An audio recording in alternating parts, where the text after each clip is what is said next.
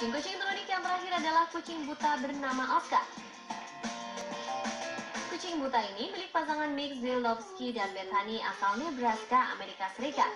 Pada tahun 2011, mereka menemukan Oscar ketika sedang mengunjungi sebuah peternakan di Iowa. Saat pertama kali mereka menemukan kucing tak sempurna ini, mereka langsung jatuh cinta dan membawanya pulang.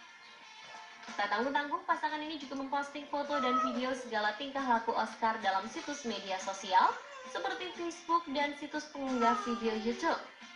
Karena adanya postingan tersebut, Oscar menjadi pusat perhatian masyarakat dan menjadi kucing paling fenomenal di YouTube. Sejak Oscar kecil, Mick memang gemar memposting video-videonya yang lucu. Seperti Oscar yang sedang bermain dengan mainan pertamanya, mampu menyedot perhatian penonton sebanyak 6 juta viewers.